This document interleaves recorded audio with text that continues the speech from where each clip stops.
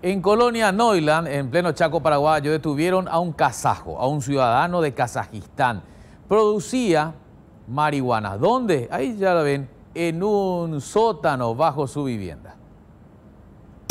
El hallazgo de un presunto laboratorio clandestino de cannabis y derivados en un hospedaje de Colonia Neuland, departamento de Boquerón, produjo la detención del propietario, un hombre oriundo de Kazajistán, que supuestamente tenía laboratorio escondido en un sótano, hecho de forma muy precaria, cuya entrada estaba escondida debajo de su cama.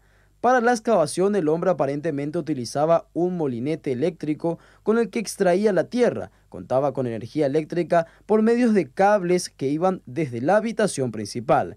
Según agentes especiales de la Senad, el hombre pretendía construir un laboratorio más grande dentro del sótano y acondicionarlo para la producción clandestina de la droga. Los antidrogas, en compañía del fiscal Andrés Arriola, hallaron 23 plantas de marihuana en etapa de crecimiento y germinación, 11 kilos de semilla y marihuana en espigas. En su poder se encontraron plantines de marihuana, así también eh, droga ya procesada, derivados como aceites, entre otros elementos eh, que eh, indican que esta persona se encontraba con intenciones o que estaba ya procesando esta sustancia.